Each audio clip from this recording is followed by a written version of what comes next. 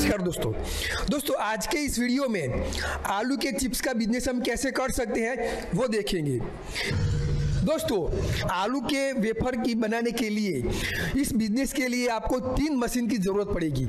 एक तो आलू का छिलका निकालने के लिए और आलू के चिप्स बनाने के लिए और आप आलू को ड्राई करने के लिए और तल फ्राई करने के बाद उसमें से तेल निकालने के लिए। आपको तीन मशीन की ज़रूरत पड़ेगी। तो सबसे पहले आपको आलू के छिलके निकालने पड़ते हैं। दक्षेश भाई हमें बताया कि ये मशीन हम यूज़ करके आलू का छिलका हम कैसे निकाल सकते हैं? इसमें एक साथ में आपको 10 से 12 किलो आलू डाल देना है और यहाँ से आपको पानी का कनेक्शन दे देना है। और जो भी उसका डस्ट होगा वो सब यहाँ से पाइप के थ्रू से सब बाहर निकल जाएगा। और आपको दो से तीन मिनट लगेगा आलू छिलका निकालने में। वो आपको छिलका और आलू आलू जो है वो छिलका निकल के सब आपको यहाँ से ही बाहर निकल जाएगा आपको। ये उसका ढक्कन है। दोस्तों, इस मशीन से हम तीन मिनट में हम 10 किलो आलू के छिलके निकाल सकते हैं। और दोस्तों, हम आलू के छिलका निकालने के बाद अब हम उसकी चिप्स बनाएँगे तो वो भी मशीन हम देखेंगे कि आलू के हम कैसे चिप्स बना सकते हैं। और दक्षेश भाई, आलू के छिलका निकालने के बाद हम इस मशीन से आलू के चिप्स कैसे बना सकते हैं और किस तरह के कौन कौन से चिप्स बना सकते हैं? इसमें आपको तीन तरह के आप चिप्स बना सकते हैं। एक प्लेन वेफर होता है, एक सलाई होती है और एक लाइनिंग वाली होती है, जिसको रफल्स कहा जाता है। जो बालाजी की वेफर्स आती है डिज़ाइन वाली लाइनिंग वाली, वो रफल्स कहा जाता है। वो तीन तरह के आप इसके अंदर कर सकते हैं। और आगे जो है, उनकी डाई अलग अलग इस तरह की आप डाई डालोगे, उस तरह का आपको इसमें कटिंग होगा। आपको यहाँ पे वन बाई वन आलू डालते जाना है। ये पर आवर आपको घंटे में डेढ़ सौ से 200 किलो आपको कटिंग कर देगा। दोस्तों आपको जिस तरह की आलू की चिप्स बनानी हो उसी तरह की डाई आपको इसमें डालना पड़ता है। और वन बाय वन इसमें आलू डालोगे तो आपको चिप्स उसी तरह से चिप आपको मिल जाएगी। और घंटे का कितना? डेढ़ सौ से 200 किलो। दक्षेश भाई हम इस मशीन का कैसे यूज़ कर सकते हैं? ये जो है वो ड्रायर मशीन है जो आप वेफर कटिंग करोगे कटिंग करने के बाद उसको धोया जाता है। धोने के बाद आपको इसके अंदर डालना है तो उसके अंदर जो भी पानी ज़्यादा रहेगा वो पूरा ड्राई हो जाएगा। ये एक एक तरह का ड्रायर मशीन है ये जो ज़्यादा सर पानी रहता है वो निकाल देता है खाली। निकालने के बाद आप उसको फ्राई कर सकते हैं वेफर को। दोस्तों इसके बाद की वेफर को फ्राई करना होता है तो दोस्तों, इस मशीन को आपको अलग से खरीदना पड़ेगा। आप जो भी तरह से चाहे, उसी तरह से आप खरीद सकते हो। जैसा कि आप वीडियो में देख सकते हो, आप लंबा चौड़ा भी आप फ्राई करने का मशीन खरीद सकते हो, या तो गोलाकार का भी मशीन आप खरीद सकते हो। आपको जो भी मर्ज़ी हो, उस तरह से आप खरीद सकते हो। इस तरह से आप आलू की चिप्स को फ्राई कर सकते हो। दोस्तों आपकी आलू की चिप्स फ्राई होने के बाद उसमें ज़्यादातर तेल बहुत रहता है। तो आप इस मशीन से आलू की चिप्स में से बहुत ही आसानी से तेल निकाल सकते हो। दोस्तों ज़्यादा सर जो नमकीन रहता है उसमें जो तेल रहता है तो तेल भी आप इसके अंदर से निकाल सकते हैं। अच्छा तेल निकालने के लिए भी काम आता है। तेल निकालने के लिए भी काम में आता है। ओके।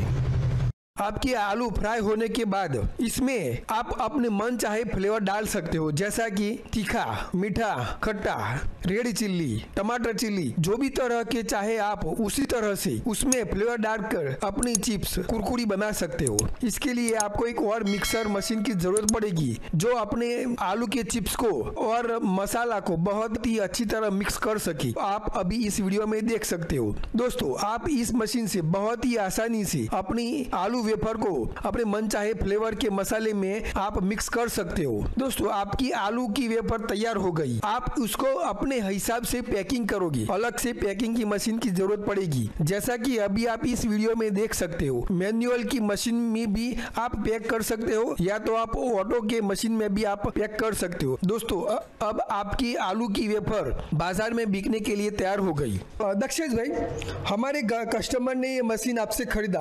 तो आप उसको किस तरह की सर्विस दे सकते हो?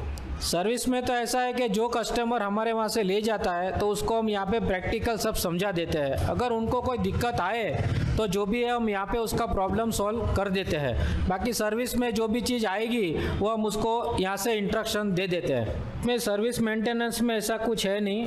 जो आलू छिलका निकालने का जो मशीन है, उसके अंदर जो भी आपको एक दो साल तक जो भी चीज़ आपको प्रोवाइड करनी पड़ेगी, वो हम साथ में प्रोवाइड करते हैं। और दूसरा जो कटिंग वेफर का मशीन है, उसमें आपको खाली ब्लेड का मेंटेन आएगा। बाकी दूसरा कोई मेंटेनेंस आता नहीं है। और रहा ड्रायर का तो ड्रायर में भी ऐसा कोई मेंटेनेंस वाली चीज़ है नहीं। अगर संभाल के रखोगे तो कोई ज़ीरो मेंटेनेंस मशीनरी है ये। ये जो आलू छिलका निकालने का मशीन है उसके अंदर हम हैमरी जो अंदर रहती है वो साथ में प्रोवाइड करते हैं। और रहा जो आलू वेफर करने का मशीन जो है वो भी, भी आपसे कोई एक्सीडेंटली प्रॉब्लम हुआ टूट गया तो आपको हमारे पास से उसको परचेस करना पड़ेगा। ये ड्रायर में कोई ऐसी चीज़ मेंटेन वाली नहीं है। वो ज़्यादा सर इसका जो ड्रम रहता है, वो आपको मेंटेन करता है तो उसका जो जाली है, वो आपको एक दो साल के बाद चेंज करना रहता है। अच्छा।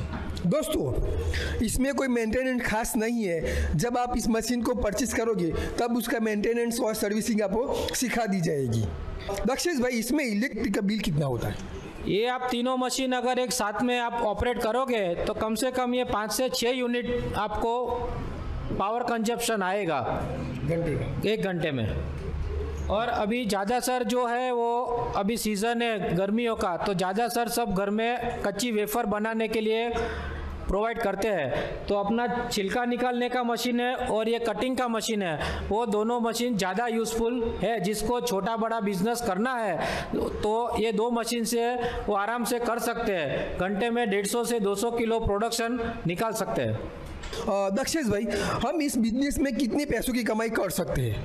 ये जो अभी सीज़न जो चल रही है आलू की तो ये कोई लोग क्या है, कच्चा आलू का जो वेफर कटिंग करके जो करते हैं तो मैक्सिमम सबका अलग अलग रेट रहता है। किसी का पर केजी फाइव रुपीज़ से लेके टेन रुपीज़ तक का रेट इसमें सब अलग अलग एरिया के हिसाब से वो प्रोवाइड करते हैं। वो घंटे में आपको 200 किलो तो आराम से आपको निकाल देगा तो वो पर केजी का ये लोग पाँच से दस रुपये का रेशियो रहता है कटिंग करने का जॉब वर्क का। जो जिसको छोटा बड़ा बिज़नेस करना है तो वो आराम से इसमें पैसा कमा सकते हैं।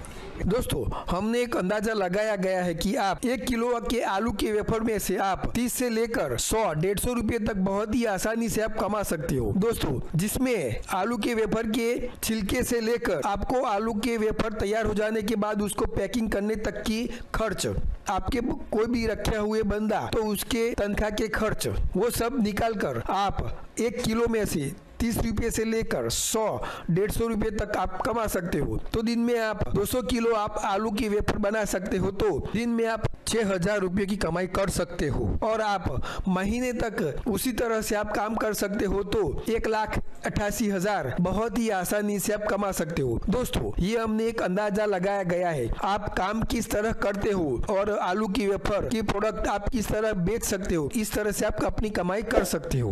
दक्षेश भाई, हम इस मशीन को खरीदना हो तो इसकी प्राइस क्या है? तीनों की प्राइस कितनी हो सकती है? ये आप मेरे पास सत्तर हज़ार से लेके डेढ़ लाख तक की प्राइस का मशीनरी है। सब अलग अलग कैटेगरीज में है। सत्तर हज़ार से आपका बिज़नेस स्टार्ट हो जाएगा। दोस्तों, इसमें आपको सत्तर हज़ार से लेकर लाख, दो लाख तक की आप ये मशीनरी हो सकती है। और ये मशीन परचेज करके आप अपना आलू चिप्स बनाने का बिज़नेस आप कर सकते हो। दोस्तों, अगर आप आलू चिप्स बनाने का मशीन आप खरीदना चाहते हो तो हमने इस कंपनी का नाम contact number mobile number website पता इस वीडियो के डिस्क्रिप्शन में डाला हुआ है। तो वहीं से आप बहुत ही आसानी से इस कंपनी को मिल सकते हो और अपने आलू चिप्स बनाने का बिज़नेस शुरू आप कर सकते